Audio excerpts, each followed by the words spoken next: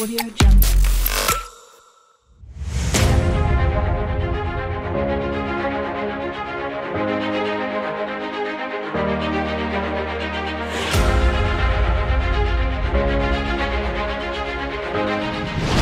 Kepindahan Ronaldo ke Al Nassr tentu menjadi kepindahan yang sangat mengejutkan. Mengejutkan di sini karena bisa-bisanya Ronaldo mau menerima penawaran dari klub yang saat ini bermain di Liga Arab Saudi. Hal yang membuat Ronaldo langsung dicap sebagai pemain mata duitan. Itu terjadi karena saat bermain untuk Al Nassr, pemain asal Portugal itu bakal mendapatkan gaji yang sangat fantastis. Meski begitu, Ronaldo langsung mendapatkan pembelaan dari para legenda dunia. Lantas pembelaan apa yang mereka tunjukkan?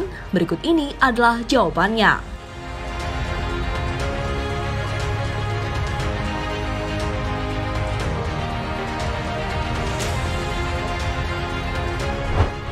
Ya, usai resmi menjadi pemain Al Nassr, banyak hal-hal luar biasa yang akan diterima oleh Ronaldo. Di antaranya adalah beberapa fasilitas kelas dunia yang akan memanjakan pemain berusia 37 tahun tersebut.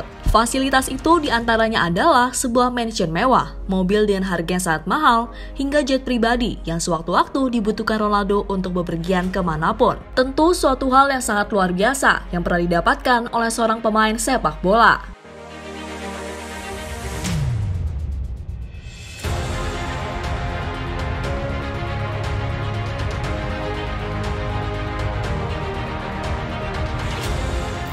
Fasilitas-fasilitas itu tentu belum ditambah dengan gaji yang didapatkan oleh Ronaldo. Ya, pemain asal Portugal itu bakal mendapatkan gaji yang sangat fantastis selama bermain untuk Al Nassr. Bagaimana tidak? Karena setiap musimnya Ronaldo bakal mendapatkan gaji sebesar 3,3 triliun rupiah. Dan jika dihitung per hari, Ronaldo akan mendapatkan 10 miliar. Sebuah angka yang tentunya sangat fantastis. Bahkan angka itu hampir dua kali lipatnya dengan apa yang didapatkan oleh Messi bersama Paris Saint-Germain.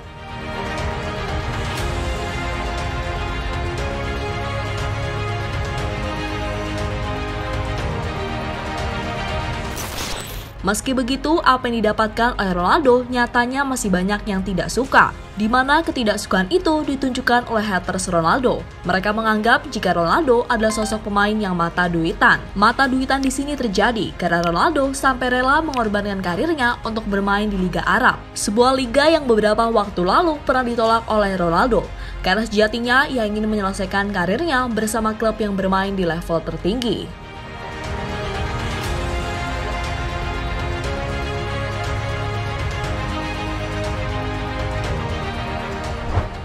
Anggapan Ronaldo yang mata duitan akhirnya mendapatkan respon dari Rivaldo. Ya, legenda timnas Brazil itu sama sekali tidak setuju jika Ronaldo adalah pemain mata duitan. Rivaldo kemudian menilai jika bayaran yang diterima oleh Ronaldo di Al Nassr adalah sebuah penghargaan yang sangat pantas atas karirnya yang begitu luar biasa. Ngomong-ngomong, saya pikir keputusannya pindah ke Arab Saudi adalah keputusan yang tepat jika kita mempertimbangkan nilai kontrak yang dalam beberapa hal berfungsi sebagai penghargaan atas karirnya yang luar biasa. Dibayar sebesar itu pada usia hampir 38 tahun, semakin membuktikan jika Cristiano adalah pemain penting dalam dunia sepak bola.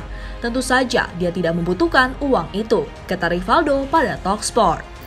Apa yang dikatakan oleh Rivaldo bisa dikatakan benar, karena sebelum bergabung dengan Al Nassr, Ronaldo adalah salah satu atlet dengan nilai kekayaan yang sangat fantastis. Dan bergabungnya dirinya ke Al Nassr memang sebagai sebuah penghargaan atas karir luar biasanya selama ini. Jadi itulah pembelaan dari legenda dunia saat Ronaldo dicap sebagai pemain mata duitan setelah pindah ke Al Nassr.